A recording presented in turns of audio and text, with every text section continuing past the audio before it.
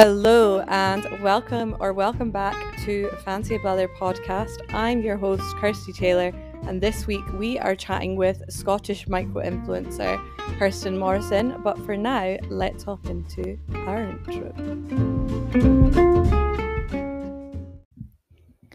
Hello, hello, hello. How are we all doing this week? I am officially on holiday, and let me just tell you, it feels unreal, unmatched, unbelievable. I am recording this 24 hours before it goes out, so it's very um very on topic this time. Sometimes my intros, I always try and do my intros near the time, but sometimes the interviews are a while before this time. The interview was very recent, so that's good and I am currently at my parents' house before I embark on a staycation. I'm leaving in like one hour, I think. Just a little solo staycation before heading to my favorite place in the world, Edinburgh, and then going on another solo staycation before going back to work again. And I am just so excited to have a restful and peaceful two weeks. Currently recording this in my childhood bedroom with my neighbor's cat sleeping next to me. He's just put his paw over his face because he's mad at me for talking while he's sleeping, but he'll get over it. And he's keeping my feet warm, which I appreciate. Apart from I'm probably gonna get pins and needles. So yeah, those are life updates. I'm just I'm on a holiday. I'm excited. Um, more to come about how the holiday goes near the time. Keep an eye out because I'm gonna try and do reels and TikToks. Please, like bear with me. I'm not very good at these things, but I'm trying. So hopefully, you get some content out of that. But my small wonder of the week this week is that autumn is finally here. I'm sorry to all the summer gals out there, but I am such an autumn person. I really love autumn and also I'm quite like winter. But I think autumn is probably my favorite season. It's just cozy season. Um, it's not too cold you can go on these long walks and uh, you don't you don't sweat like you do in summer, and you wear cardigans and jumpers and have fires and oh, just all the good things happen at autumn, in my opinion. So that is that is what I'm loving right now. I'm just so happy that autumn has arrived and the hot days are behind us, hopefully.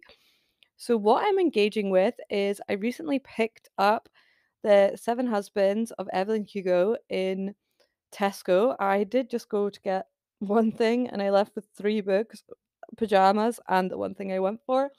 And I just like to say, like, who let me do that? It's because it's a big, massive Tesco that I never normally have access to. So I, I did pop off. So I've heard incredible things about this book and I am loving it so far. I will keep you updated with what I think. Um, you can check follow me on Goodreads if you want to find out what I'm reading. Um, I think it's just Kirsty Louise on Goodreads. I'm not sure. I'll tag my profile in the show notes because I'm officially a Goodreads author also. So buy my book, Turbulent Twenties. Sorry, gonna have to self plug. And also, once you've read it, you can say that you've read it on Goodreads. Leave us a little review. That'd be nice. Um, yeah. So that is what I've been engaging with recently. Our small business of the week is a business I found on Instagram called Carma Clay Co. And Carma is spelt with a C. And they are slow made polymer clay earrings, which are plastic free and eco friendly packaging. And they are based in Dorset, Hampshire, in the UK. You can find them on Instagram at carma.clayco and also on Etsy, which is Carma Clayco, all one word. And I am obsessed with these earrings. I'm absolutely picking myself up a pair, maybe two. I really love the terracotta goddess body earrings and also the boho moon phase earrings, but also just all of these earrings are very on trend right now. And I also feel like they're quite timeless. Um, the sunset arch earrings are stunning, so you can bet your bottom dollar I will be picking up a pair for a little holiday gift to myself. So I highly recommend checking them out. So like I said, it's Carma Clayco on Etsy and carma.clayco on Instagram, and I will have them linked in the show notes for you. So now we can hop into our poem of the week. My favorite segment often is our poem of the week. And this week I found our poem on Instagram. The Instagram handle is kojo underscore writes underscore stuff, which I obviously will have linked in the show notes. So it's a poem called Five Minutes of Forever by Kojo. Five Minutes of Forever. We sat next to each other, waiting for the sun to set. In silence, you promised me forever. In chaos, we waited for us to end from a lie to a memory. The sun set, our eyes met, brimming with tears. As the last drop fell, our bodies moved apart and our hands let go. So that is Five Minutes of Forever by Kojo. And like I said, I will have their Instagram account linked in the show notes for all of you to check out. And that is everything from me this week. So I don't really have many updates going on at the moment. Like I said, I'm on holiday. More to come on how my staycations go.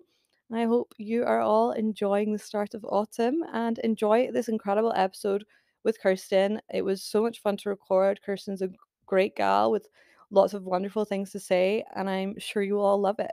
And before I go, please remember to subscribe slash follow to the podcast follow the podcast depending on which platform you listen on and also leave us a review on apple podcasts. We love getting a good review. And repost on your stories if you're listening. That's such a helpful way for people to find us. If you're ever listening just screenshot tag us. We will always share and we appreciate it. So um yeah let's hop into our chat with kirsten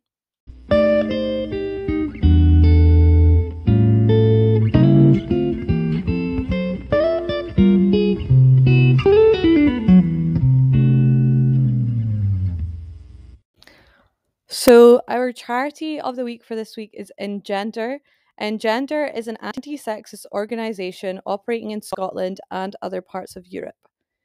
They aim to make Scotland a fairer, safer place where women can flourish and contribute to both the social and market economies with dignity, freedom, and justice. If you'd like to check out Engender, you can head to www.engender.org.uk. We will also tag them in our charity spotlight for the week. And on their website, you can find out if they have any vacant positions, the publications they're involved in, who they are, what they do, how you can get in touch if you need help from them, um, who their staff are, and just how you can get involved. If you can donate, give your time, spread the word. So, like I said, it is engender.org.uk.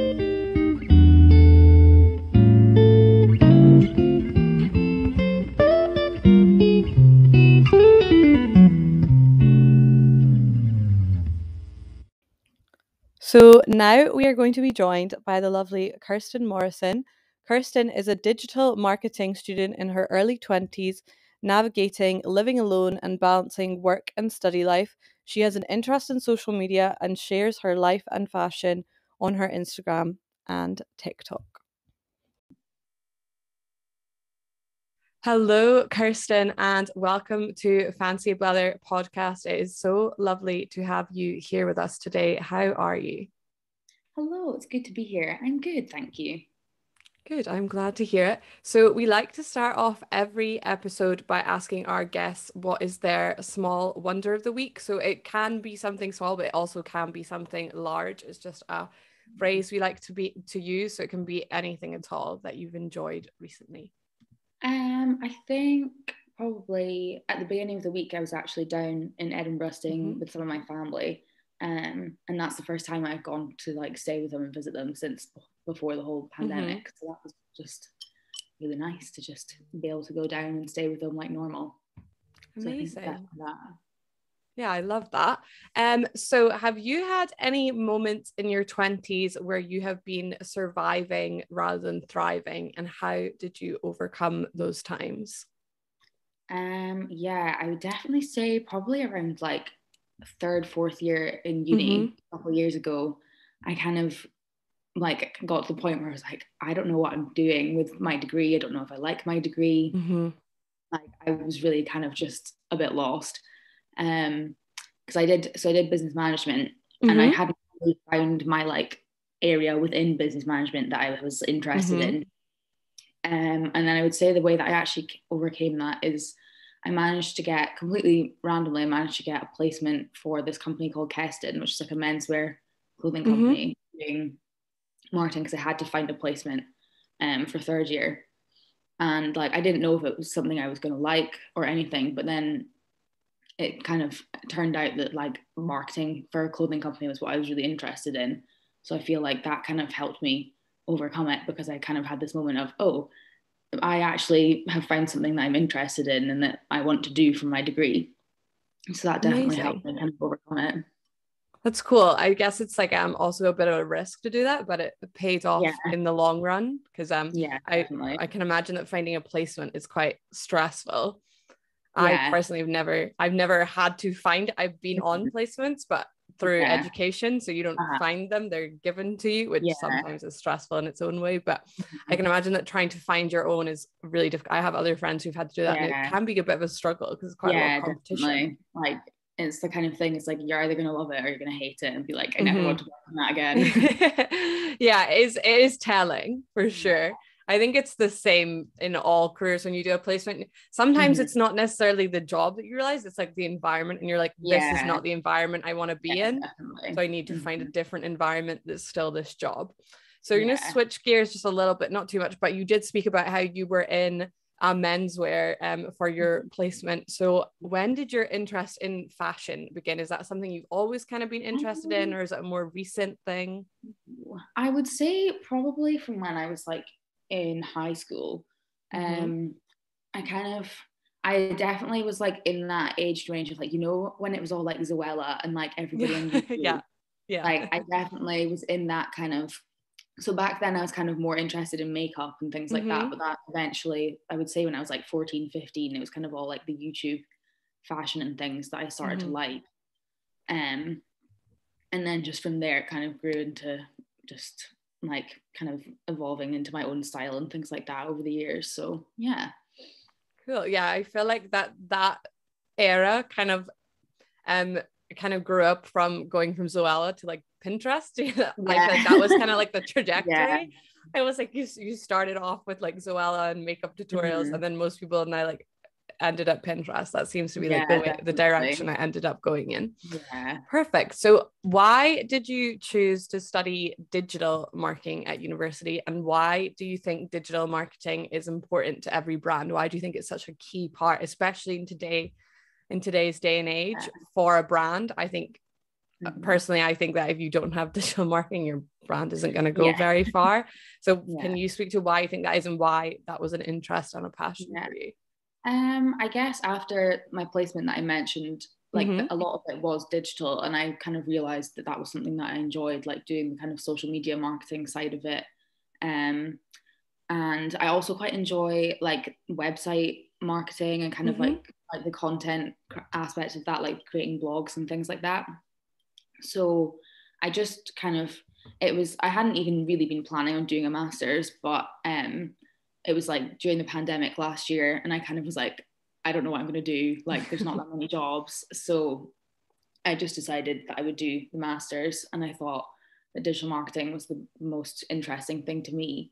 Um, and i definitely think that digital marketing is like a really important thing for companies at the moment and it's like a really like growing space. Like there's lots mm-hmm. of jobs lots going on. Um, and i just think it's important because it's a good way to kind of it's a way to like build your brand beyond like it like say you're like just a little like brick and mortar shop mm-hmm. like it's a way to extend your brand beyond that because you can build a, a community online. And there's just so much more like opportunities for growth and everything. And i also just really enjoy that it's kind of as much as it's like all quite technical and like there's a lot of strategy in it it's also a way that you can be creative within your job. Like for me i really enjoyed the course because it has a lot of creative work in it as well as practical work. Um, so we did a lot of stuff like making like promotional videos for companies and like making websites. And my dissertation, I actually made a website for a company. That's so um, cool. Yeah, so I just really enjoyed this kind of like brings together like the creative side of things with like the business strategy of it. Mm. I think also the pandemic really brought that out because there was no other way you could yeah, not market. I suppose like mm-hmm. the only other marketing that did exist was maybe like billboards and things like that because people were on walks but i think like the uh-huh. digital space was kind of your only yeah. your only oh, option definitely. in a lot of ways yeah. and you saw a lot of brands that were kind of smaller as well have to mm-hmm. shift to digital digital otherwise how do you how do you sustain that when people can't leave their house yeah yeah exactly. no that's that's so interesting it's actually i always find it surreal sometimes like how much digital marketing and particularly like social media can mm-hmm. impact mm-hmm. something like there is oh, yeah. a place near where i grew up um that's like a little farm shop and cafe and it is quite popular naturally but they did this yeah. um sunflower maze and mm. um, they basically posted about it not thinking it would gain that much attraction just yeah. posted about it as like a thing they didn't think it would mm-hmm. become so big so didn't really have tickets or anything. And it, went viral. No and way. they they had to shut it down because oh it was there was too many like the roads were becoming yeah. da- like it's good they recognize that dangerous because of the where it is if you were to queue for it, it okay, it's not safe because people can't you'd have to shut the road essentially yeah. but they had no idea. And they all because somebody like posted posted an instagram. And yeah, i was like that's it's, it's wild because they are just like yeah. they are a pop i wouldn't say like they're not a known cafe mm. or anything like they are popular within the local area but people were like coming for yeah. this sunflower field. And I was like, that is unreal. Like that's, that's so mad. crazy to me. I so know. that's incredible for their business because now they yeah. recognize people know about them now. Mm-hmm. And next year, when they do it, they'll just know the scale yeah. it's gonna be and they can tailor uh-huh. to that. But I was like, yeah. that is insane. Like, just post one photo and it goes like that. Like, they had no, I cannot imagine like being like, what the, especially yeah. like the older people that go there because it, it, there is a lot of an mm-hmm. older customer base who go there kind of every week and it's like their local place and it's regular because it's a farm shop as well. Can you imagine just be like a local and being like, um, like yeah, like is something going on? Like, so I just think it's so wild the impact yeah. that digital marketing, even when it's unintentional, can have on a brand, which is what makes social media so cool, but also like sometimes a little yeah, bit scary because I'm like, yeah, because like, think about it because I'm the safety aspect there was definitely like oh yeah like yeah definitely because there's that thing at the moment as well I don't know if you all have seen it there's this girl called Emily Mariko on TikTok mm-hmm. and she's like kind of gone viral for being like healthy and like having like good healthy food and things and there's this recipe with like where she kind of makes it's like deconstructed sushi mm-hmm. um and she makes mm. it with like leftover salmon and rice and things and like puts like sriracha and mixes it all up and whatever. And like the stuff, like I went to buy sriracha in the supermarket the other day because I needed more. And it's like sold out. And it's like things like when these things go viral, like everything in the shop, like from them is gone. Mm-hmm. Like it's crazy to think that like that impact happens like worldwide. Mm-hmm. Like it's not like because like she's some like American YouTuber and then there's products sold out in UK supermarkets because of what she's been posting. Like it's crazy. That is what yeah, gets wild. I can imagine that must be hard to be in that field because it's oh, hard yeah. to recognize sometimes the impact mm. you're having entered like also the pressure that comes with that must yeah. be so like I think there's pressure in every job, but I think the pressure that comes with that from like eyes of people you don't even know. Yeah, yeah, I know it's crazy because it's it, like once you get really, really big, it kind of becomes that thing that like people expect. Yes. And expect and they don't. they like kind of treat you more like a brand than a person. Yeah. Like yeah, there's definitely. that like blurring line of like yeah is Anna, Emma Chamberlain is still a person, but some people mm-hmm. they don't recognize that. Yeah, they see exactly. her as this brand. And uh-huh. of course, like that is how she makes her money. But it's like you don't get that in any other job. Like I can go yeah. home from my job in a school and I am no longer like, yes, granted, I can get it on a smaller scale. Like if I'm at the supermarket mm-hmm. and I meet a parent, but yeah. I know who's coming up to me. Like yeah. with the pandemic, I don't really, but normally I would know who it is know.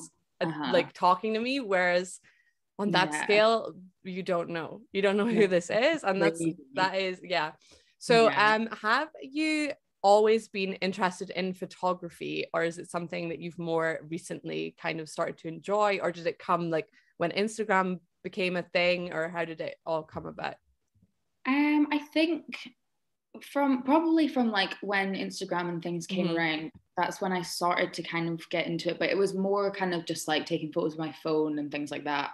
Um, but in was it during lockdown last year? Yeah, during lockdown last year. I, mm-hmm. Well, that was actually no, just before the lockdown at the beginning of this year. Um, mm-hmm. I got a camera for Christmas, um, like a proper like mirrorless yeah. camera. Um, so that's kind of I kind of got into it. I well, I wanted that camera because I was like, I think that I want to like properly get into photography. So yeah, it kind of always kind of been interested in it, but more and so in the last year. Um, and I got a film camera as well actually recently, which has been nice. fun as well. They're always fun to kind of oh, yeah. I really enjoy that because like you just like you don't know what the photo's going to look like until you get developed. Um, yeah. But yeah, no, I kind of I just I just like taking photos of things. Like I'm not really too fussed about like editing a lot or mm-hmm. whatever. I just like having photos of things to remember, like so I can look back on them and be like, oh, this is what nice. I was doing. Yeah, it's cool. Yeah, I love film photography. It's just so yeah. expensive. Is the only thing oh, I find. It's like you have to find find the right place that it's not going to cost you like and even then it's not it's still going to cost you a decent amount yeah. it's the hardest oh, thing it is definitely like, not the cheapest. yeah, like the price of films gone up so much as well mm-hmm. recently. I think just because like everyone's getting interested in it. Yeah, because I got big into film photography over lockdown because I had a lot more free time. Like I'll be honest, like since I've started work the last mm-hmm. I'm officially on holiday as of today, but oh, I like oh I'm very exciting. The fir- mm-hmm. like this is my first term working as a teacher, and mm-hmm. I honestly have taken one photo on my phone in the last oh, eight no. weeks because I'm just so busy and like I don't yeah. work in a job where I would ever have my phone out within the uh-huh. school yeah. day. So mm-hmm. it's just like adjust it. And it's so bizarre because at Guinea that like I take so many more photos yeah. and I'm sure I will get back into it. But it's like mm-hmm. when you mm-hmm. get to that busy season. But in yeah. lockdown, I had a film camera and I still have like eight rolls of film that I need mm-hmm. to develop.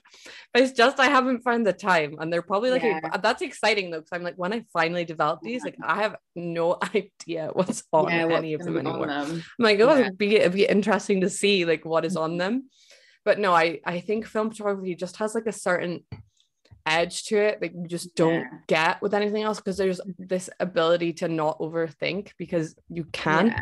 you because yeah, it's a waste there's no point and i i'm not such a fan of the ones that are kind of a cross between digital and film where you can see it for example it takes mm-hmm. away the fun that takes away the magic like ruins it because mm-hmm. i have mm-hmm. some film photos like which were ruined but they kind of look nice that they were like yeah. the way that they were ruined the light actually looks cool and it looks interesting mm-hmm. and it looks like it was intentional and it wasn't yeah. so i think that that is one of the things about film that's magical because mm-hmm. now it's so easy to like have digital waste where we're just constantly yeah. like taking oh, a million photos so of things that like i have my like burst shutter on i'm like like yeah. so, yeah i know it's nice it's hard though film photos to kind of like just think about it a, a, little bit less yeah. Amazing. Well on that note you are one of the queens of pic dumping like one of my favorite people for doing that.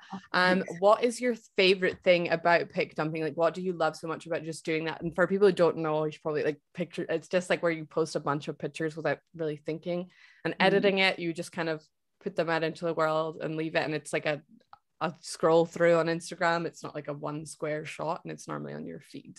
Yeah.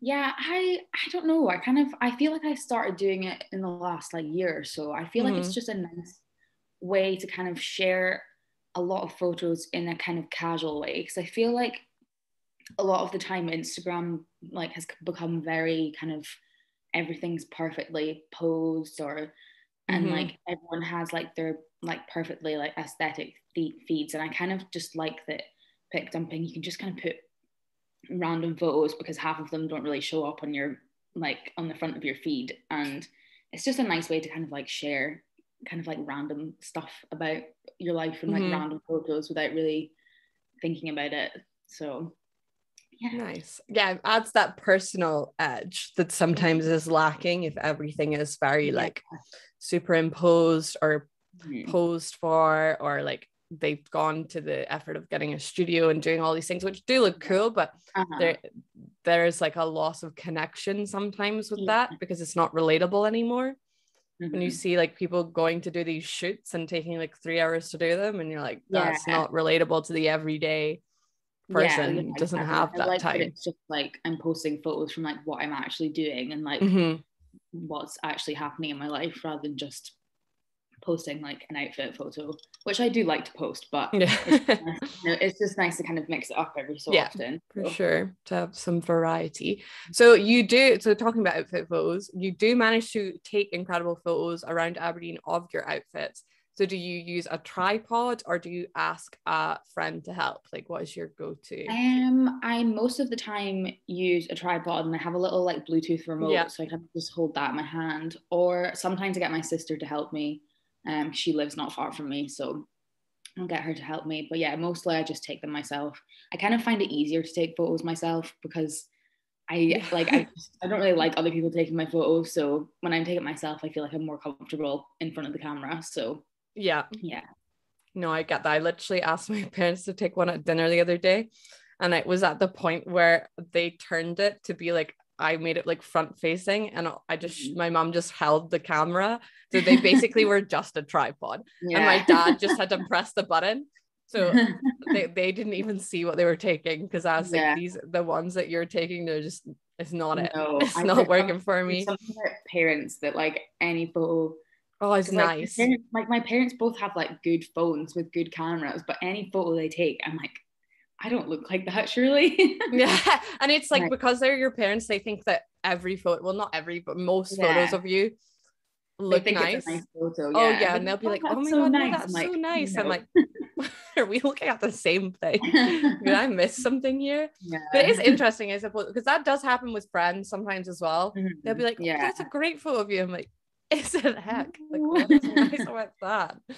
Yeah. So, where is your favorite place in Aberdeen to get an outfit picked? Do you have like top places that you like to go that aren't like too busy? Because that's like a thing for me. I'm always like, oh, I don't want like a lot of people walking past. Yeah, I quite like the beach, but get, mm. it's something that like if I was getting a photo at the beach, I would get somebody, I would get like my sister yeah. to take it for me because there's always a lot of people, and yeah, I don't want to like set up my tripod and have everybody looking at me.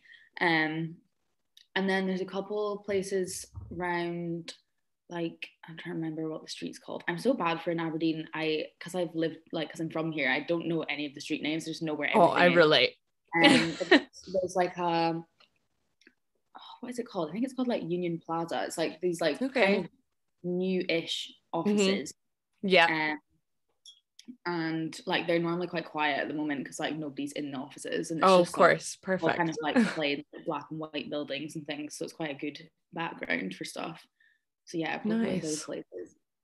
And it is funny though when you live somewhere you never know. Yeah the only street name i know from like my childhood is like my mine. Yeah.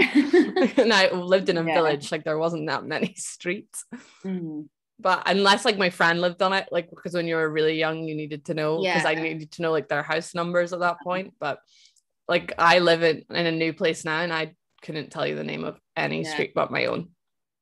And i was like yeah, i'm definitely the same like you just don't you just forget. I think it's like a generation thing like i think it's like um my parents are big on like street names and stuff. For me it's about like things like yeah. where things are. Yeah, remember like that like specific building or like yes, like, or that like there, that bar or that shop or something yeah. you can see. But I am bad at doing that with like people's houses. But then when I'm like explaining it to someone else, I'm like, oh, you yeah. don't know that person, so like, like, you don't know where their house is. Yeah, yeah. Like, I could get myself there, but I couldn't tell you where it is.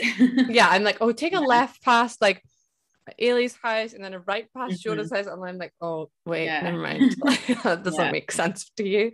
So it is interesting. No, but that's that's amazing. So how did your partnership with Mejuri begin?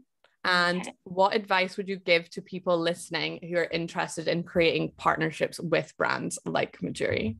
Cool. Um, so basically, I was given a necklace and a bracelet from my auntie and uncle actually last year mm-hmm. graduating that was from Mejuri. Um, and like when I got it, I was like, I just posted a photo and had tagged because mm-hmm. I quite what I normally do when I'm like wearing a brand is I'll tag the brand yeah. in the photo. Um, and it just happened by chance that they must have liked the photo and must have seen it somehow from me tagging it and um, they sent me an email asking they could send me something and then all I had to do was just post an Instagram photo of it And um, nice. so that was that was about a year ago now, and then that kind of kept going over a couple months, and then they've just recently asked me to be part of the Fine Crew, which is mm-hmm. where I can now get commission. I have like a little link, so if people mm-hmm. Buy from me, there's like a then I get like a ten percent um, okay. link, and then the people buying from the link also get ten percent off their first purchase as well. Um, so yeah, it just kind of came about very randomly, really. Um, from me tagging them. Like when the email came through, I was like, is this real? is this a joke? like, yeah, I was like, I was like, um, should I actually click on the link in the email or is it gonna oh, be yeah. is it gonna be a virus? Yeah, but um no, it was just it was just really cool. Like um like I don't really have like I don't have that many followers on Instagram. So I was kind of mm-hmm. surprised. I think they they've recently started doing like micro influ- influencers mm-hmm. over like they still have their like bigger people, but they've yeah. kind of started micro influencer program. Um, so I would say like for people who are interested in doing stuff like that, like um, they actually have I think they have a thing on your web on their website where you can actually sign up for it. Like you can submit a little application. Oh, cool. And um, I know that other brands like Monica Vinader have that as well. Mm-hmm. So it doesn't like you don't have to have products from them already. Like you can just kind of.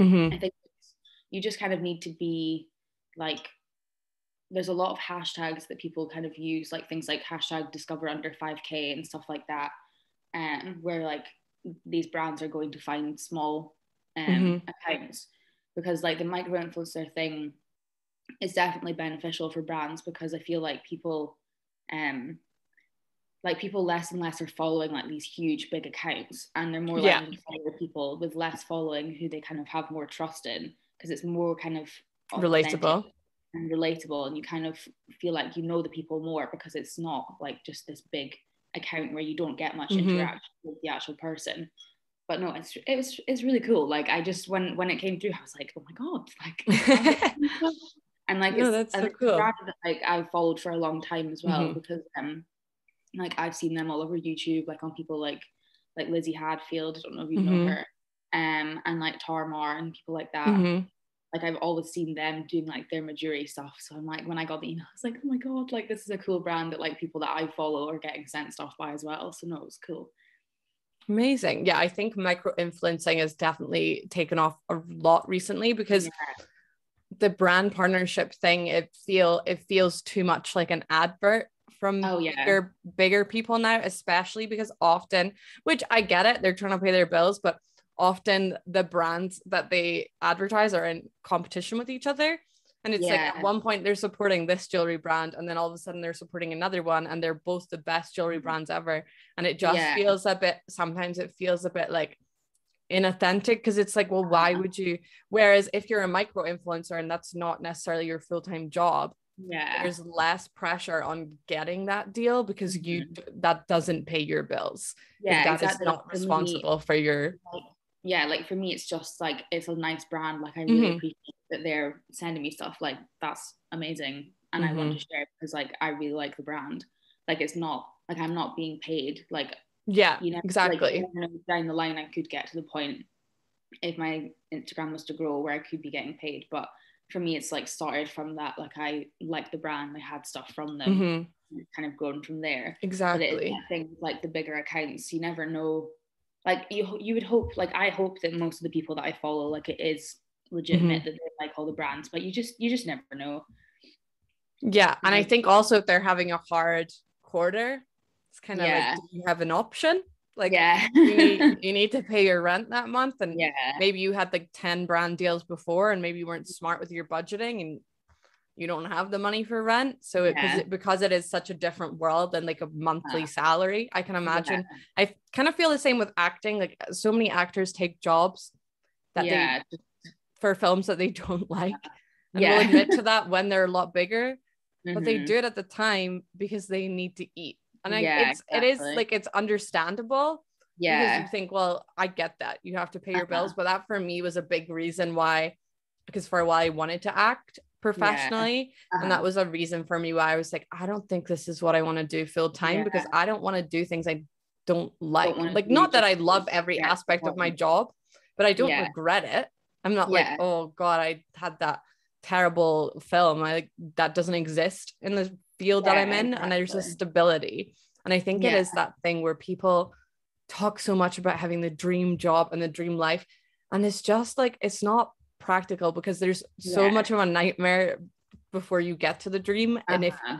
and sometimes you just do, I just, stability just sounds so much nicer than it did when I was a kid. And I'm like, Yeah, I, oh, it's nice to be able to eat every day Mhm. and be able Yeah. to pay my bills every month and i Mhm. just like i as much as like maybe people would say well you don't have the passion for that that someone else does i think for me it was just about like i don't want to be as broke as i was in uni again. Oh yeah, no, I completely understand i've just that. Been you there and done that. Yeah, like it we it's like it would be nice to have the dream and hope, Yeah. you hope that you eventually might get there, but like it's just good to have like Just a steady pra- job. yeah, and, like, practicality does matter. Like money doesn't buy happiness but it does buy stability yeah. i'm sorry but it does that's the Yeah. reality and i think that's something that we don't teach enough of Uh-huh. and that's why there is such a push for like the dream job and no Yeah. job is ever going to be perfect because it's a job and that's how Yeah, you have to view it like Yeah. at the end of the day it's a job it's not your Mhm. life and that's i suppose is where the problem comes with the social media world when does their Yeah. job end and their life start Uh, because i Oh, can't definitely. imagine because that's hard enough working from home so i don't know yeah how you like, do I, that I don't understand how people like switch off from work and things like Mhm. that because like for me like i'll get home from work and i'll scroll on my phone and scroll through instagram scroll through tiktok but for them like their work is doing that. Yes So, exactly. like how do you how do you like differentiate from that? Hmm like it just it seems crazy Definitely. So, who or not who, where are your favorite places to shop at the moment? And what is now that we're entering autumn, what is your go-to autumnal outfit? Like, what's your what's your kind of top pieces for autumn? cool um my favorite places to shop at the moment i quite like h&m at the moment Mm-hmm. Um, they've got a lot of nice stuff. And where else? It was actually when I was in Edinburgh at the beginning of the week, I went Mhm. to Stradivarius um, Oh, nice. and Bershka in the St James Centre, and they had a lot Mm-hmm. of nice stuff. Um, also really like and other stories. It is Mm. a little bit expensive for me, moment, Mm. but I but I really like their stuff right now. Um, and also like COS and places like that as well. Like they just have nice kind of like nice cut jumpers and like trousers and things like that. Um, and I would say my go-to autumn fit, I would say probably like either jeans or Mhm. like a straight leg jean or like a straight leg trouser with like a big oversized knitted jumper. Um, and I recently got Doc Martin loafers, so Nice. definitely them. I literally since I've got them, I like haven't taken them off. They did make me sleepy for a couple weeks, but they are worth it. They are literally the best shoes. Um, and then like I like a trench coat for autumn Mm, with like not too hot, not too cold kind of jacket. So yeah, definitely Yes. like a jumper and a trench coat and jeans. amazing. loafers. That sounds a like a little bit, little bit preppy, but I like that kind of It's style. okay. so- Nothing wrong with a little bit of prep. Never hurt Yeah. anyone. Perfect. So, what are some of your thriving moments from your 20s so far? Ooh. Um, I would say finishing uni, definitely Mhm. finishing, finishing both my degrees, but definitely finishing my masters because like doing the dissertation over summer was just Mm. I feel like I feel like summer didn't happen. I feel like the last couple months I just sat in here at my desk, like working away. So Mhm. it's just so good to finally be finished. Like it's kind of I like if I think if third year me had seen had been able to see that I was gonna like do this masters and get it done, she would have been like, no, that's a different person. and so like I'm just really proud of myself for actually finishing it and getting it done. Um, and then what else would I say is another thriving moment? Um, I think definitely my placement at the brand Keston that was a really good job and it kind of made me realize like what I want to do. Um, and I also actually did an internship for a jewelry company based in Aberdeen at the beginning of the year. Um, and it was kind of, it was just for a month and I did Mhm. like, I like created a whole like digital marketing strategy for them. And I worked with another girl on my course as well. And we kind of like did an overhaul of all the like digital stuff for them and it was just like it was kind of a moment where I was like, oh, like I know what I'm doing. Like I, yeah. we kind of did all this stuff for the brand and the woman who who was like who owned the brand like didn't really have much experience in like with the digital marketing or marketing aspect of it so it was just like a really nice moment where it was kind of like I was able to help somebody with my knowledge mm-hmm. and it kind of made me realize that like I kind of like the stuff I've been learning at uni has actually like stuck in so it was just a nice moment because it made me realize like I'm I I know I know my stuff. like I've managed to help this woman and like help her brand and like we've like um got her like quite a bit of growth on social media and stuff since Amazing. then. Amazing. Yeah. So Perfect. These are definitely thriving moments. Yeah. If you had to sum up your 20s so far in three words, what would they be? Oh, um, I would say, oh, that's kind of difficult. Um, I would say tiring. mm. It's like that's a common one. but also fun and exciting. Nice, good combo. Um, so a little bit of rapid fire. What is your go-to drink at the moment? Oh, um, I would say, oh, we've been having at work, they've got new, it's like Porter's Orchard Gin. Oh um, and that with tonic, very good.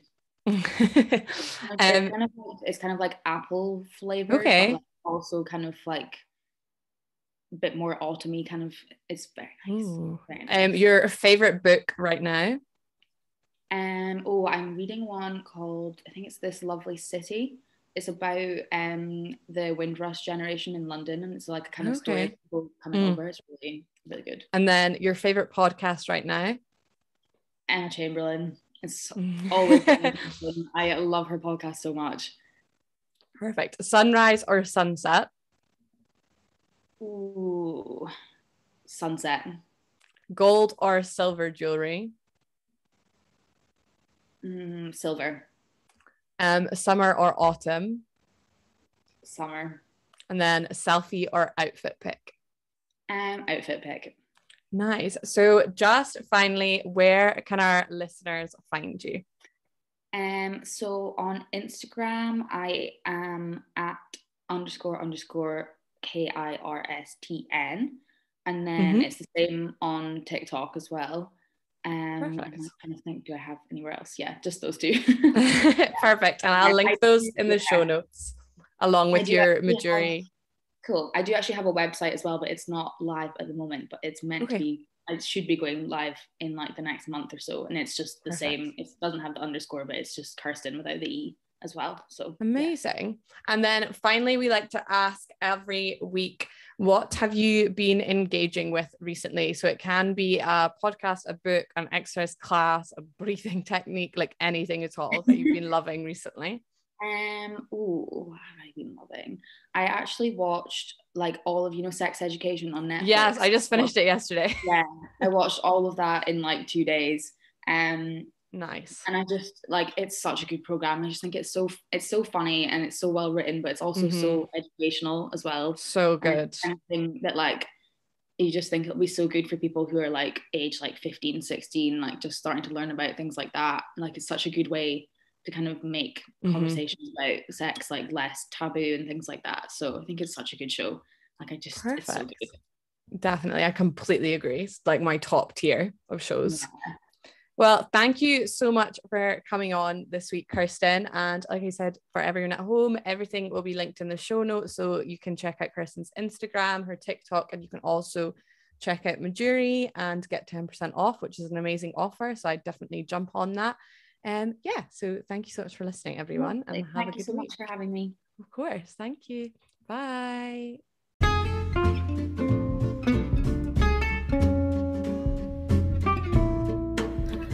That is the end of this week's episode. Thank you so much for tuning in. To keep up with all things fab, you can head to our Instagram at Fancy Leather, check out our website, fancyleather.com and head to our Facebook group, muddling through our 20s fancy leather listeners.